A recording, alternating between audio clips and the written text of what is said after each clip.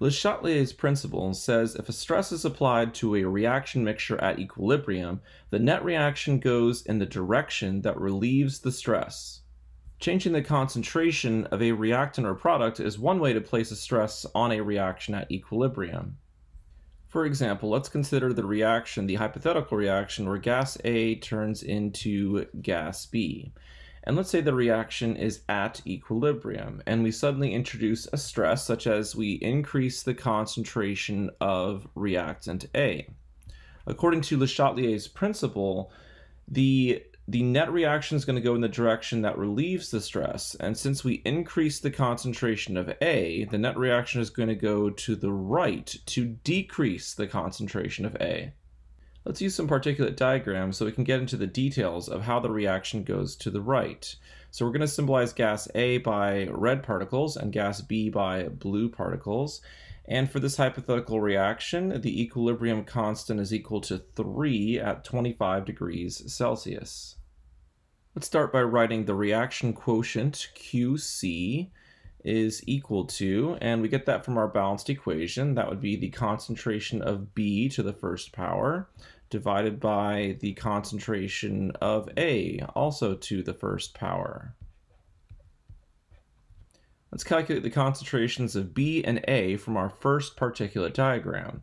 So B is represented by the blue spheres, and there are three blue spheres, if each particle represents 0.1 moles of a substance and the volume of the container is 1 liter, since we have three particles, that would be 3 times 0.1, which is 0.3 moles, divided by a volume of 1 liter is 0.3 molar. So the concentration of B is 0.3 molar. For A, we have one particle, so that's 0.1 mole, divided by 1 liter, which is 0.1 molar. So the concentration of A is 0.1 molar and 0.3 divided by 0.1 is equal to 3. So QC at this moment in time is equal to 3. Notice we could have just counted our particles, 3 blues and 1 red, and said 3 over 1. That would have been a little bit faster. So QC is equal to 3, and KC is also equal to 3, so I should have written a C in here. So when QC is equal to KC, the reaction is at equilibrium. So in this first particulate diagram here, where QC is equal to KC, the reaction is at equilibrium. Next, we're going to introduce a stress to our reaction at equilibrium. We're going to increase the concentration of A. So here we're going to add four particles of A to the reaction mixture at equilibrium. The second particulate diagram shows what the reaction looks like right after we add those four red particles. So we started with one red particle and we added four. So now there's a total of five red particles. And we still have the same three blue particles that we had in the first particulate diagram. Let's calculate QC at this moment in time, so just after we introduce the stress. Since there are three blue particles and five red particles, QC is equal to 3 divided by 5, which is equal to 0.6. Since QC is equal to 0.6 and KC is equal to 3, at this moment in time, QC is less than KC. So there are too many reactants and not enough products. Therefore, the net reaction is going to go to the right, and we're going to decrease in the amount of A, and we're going to increase in the amount of B. The third particulate diagram shows what happens after the net reaction moves to the right. So we said we're going to decrease the amount of A and increase in the amount of B. We're going from three blues in the second particulate diagram to six blues in the third. And we're going from we're going from five reds to only two reds. Therefore, three reds must have turned into blues to get the third particulate diagram on the right. And if we calculate QC for our third particulate diagram, it'd be equal to 6 divided by 2, which is equal to 3. So at this moment in time, QC is equal to KC. They're both equal to 3. So equilibrium has been reestablished in the third particulate diagram. It isn't always necessary to calculate Q values when doing a Le Chatelier changing concentration problem. However, for this hypothetical reaction, it's it's useful to calculate Q values to understand that we're starting at equilibrium and then a stress is introduced, such as changing the concentration of a reactant or product, and that means the reaction is no longer at equilibrium. Le Chatelier's principle allows us to predict which direction the net reaction will will go uh, or we could also use Q to predict the direction of the net reaction. The net reaction will continue going in that new direction until Q is equal to K again and equilibrium has been reestablished. Let's look at another reaction. This is the synthesis of ammonia from nitrogen gas and hydrogen gas.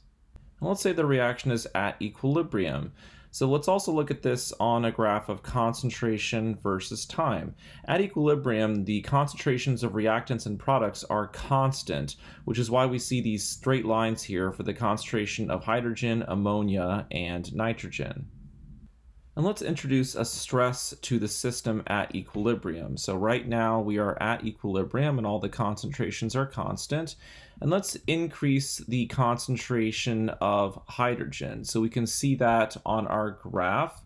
So right here, there's a sudden increase in the concentration of hydrogen. Adding hydrogen means that Q is no longer equal to K, and therefore the reaction is not at equilibrium. So let's go ahead and write over here. Now we're not at equilibrium. And Le Chatelier's principle allows us to predict which direction the net reaction will move. So since we added a stress, the stress of being the stress being increased concentration of hydrogen, the net reaction is going to move to the right to get rid of some of that hydrogen that was added. And when the reaction goes to the right, the amount of ammonia will increase. And that's what we can see right here on this red line here. The amount of ammonia is increasing. And the amount of ammonia increases because nitrogen and hydrogen are reacting to form ammonia. Therefore, the amount of nitrogen and hydrogen will decrease.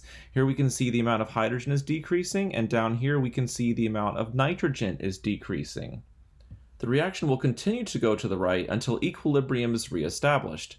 And that happens at this second dotted line here. And we know that because we can see all of these concentrations are now constant.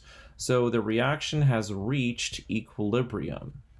So far, we've only talked about changing the concentration of a reactant. So for example, if we increase the concentration of hydrogen, the net reaction goes to the right. We could also say shifts to the right. So for a reaction at equilibrium, if you increase the concentration of a reactant, such as the concentration of hydrogen or the concentration of nitrogen, the reaction will shift to the right to decrease the amount of one of those reactants.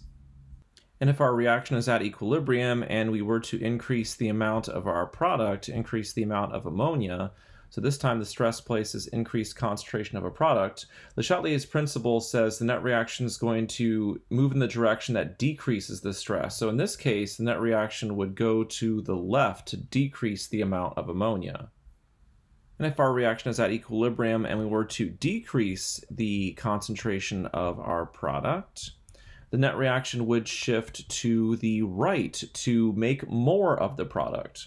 Or if we decrease the concentration of one of our reactants, let's say of, of nitrogen, in this case, the reaction would shift to the left to make more of our reactant.